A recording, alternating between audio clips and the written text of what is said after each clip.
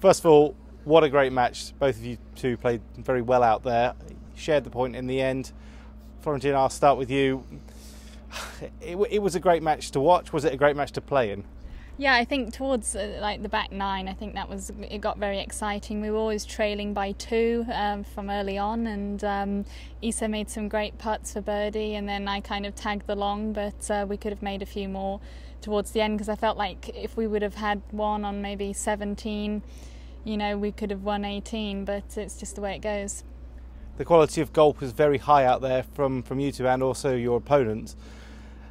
You, you had what well, it was. I mean, it was actually genuinely really high quality stuff on the way in.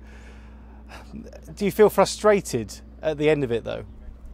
Yeah, we're definitely frustrated, especially to uh, play in the little final tomorrow and not to be in the big final against uh, either Korea or, or Japan. Yeah, that's quite disappointing. Did you know what you needed to do on the last couple of holes? Did you know that you needed to win the match? Well, we wanted to win it no matter what, so we don't really.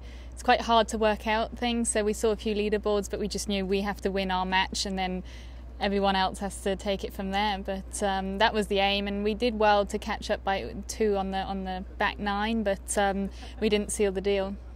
And finally, looking ahead to tomorrow, will it be hard to motivate yourself in the same way, considering obviously you're just playing for third? No, definitely not. But we know the Australians have nothing to lose, um, so we have more to lose than they do. So tomorrow we're going to have to be careful and play really well in order to beat them and have the third place. Good luck to you both. Thank you. Thank you.